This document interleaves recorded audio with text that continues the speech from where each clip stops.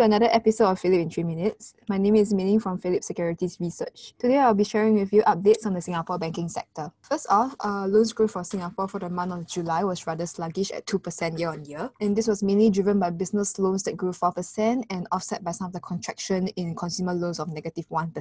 So the reason why consumer loans are still contracting is mainly because of the property cooling measures, pressuring loans growth for the housing market downwards. Whereas for deposit, the CASA uh, went back into contraction in July after recovering briefly in June, whereas fixed deposits sustained its strong decade high growth. So despite the Fed rate cut in July plus some minor downward adjustments of fixed deposit rates, fixed Ds are still growing rather strongly, as seen by the red line here, uh, surging to decades high. So one of the reasons could be the saturation of appetite for Singapore savings bonds, uh, called SSBs, as well as tight liquidity in the banking system, which sus- sustain the competition for deposits, making it rather difficult for the banks to lower their fixed deposits rates much in the near term. Hence, investors would still opt for the bank's fixed deposits with interest rates ranging from 1.5 to 2% as compared to lower lower uh, interest rate for the SSBs of around 1.68%. For the interest rates, three months SIBOR fell 12 basis points, whereas three months SOR fell 3 basis points. And the recent interest rate cut and expectation of more cuts limits the upsides from the interest margin expansion for the three banks uh, in the next half of 2019. So even though um, fixed deposits rates are starting to trend down due to slowing economic growth, lower funding costs could offset some of the impact of lower interest rates on your net interest margin expansion. So we still expect the banks to deliver full year net interest margin improvements due to the lag effect of loan repricing downwards. So this year's uh, net interest margin expansion should be around 1 to 4 basis points. Whereas for SGX, volatility is very favorable for their derivatives as investors tend to hedge more in a volatile environment. So after a very quiet July, SGX derivatives volume resumed growth in August for the four most popular products, China A50, MSCI Taiwan, Nikkei 225, as well